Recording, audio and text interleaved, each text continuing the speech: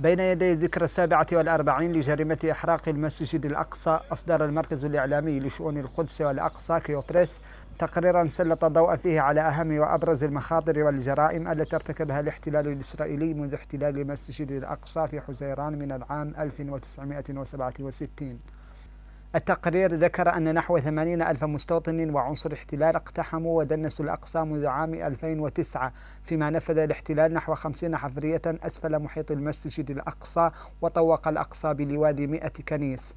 وشكلت الاقتحامات والحفريات والتهويد ثالوثا احتلاليا يستهدف الأقصى.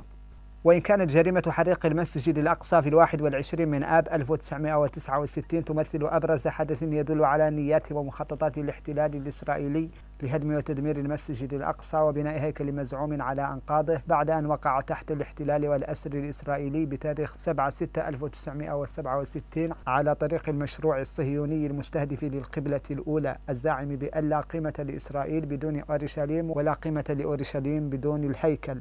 فإن حرق المسجد الأقصى حقيقة لم يتوقف ولو لدقيقة واحدة. فالنيران ما تزال مشتعلة فيه منذ 47 عاما عبر ألسنة النيران الثلاثة العملاقة الاقتحامات والتدنيس الحفريات والأنفاق. التهويد والاستيطان والتي تشكل ثالثا خطيرا يستهدف المسجد الأقصى على مدار الساعة. وفي إحصاء توثيقي للمركز الإعلامي لشؤون القدس والأقصى كيوبريس وبالاستعانة والاعتماد على إحصائيات صدرت عن مؤسسات فلسطينية سابقة فإن نحو 80355 مستوطنا وعنصرا احتلاليا اقتحموا ودنسوا المسجد الأقصى خلال الثمان سنوات الأخيرة منهم 66174 مستوطنا و10747 عسكريا ورجلا رجل مخابرات. بل الاقتحامات العسكرية خلال أحداث الاعتداءات على الأقصى ومصليه؟ بينما لم يتعدى في سنوات خلت عدد المقتحمين العشرات في السنة الواحدة في حين أنه بين أكتوبر 2000 ومايو 2003 لم تتم اقتحامات من هذا النوع بتاتا.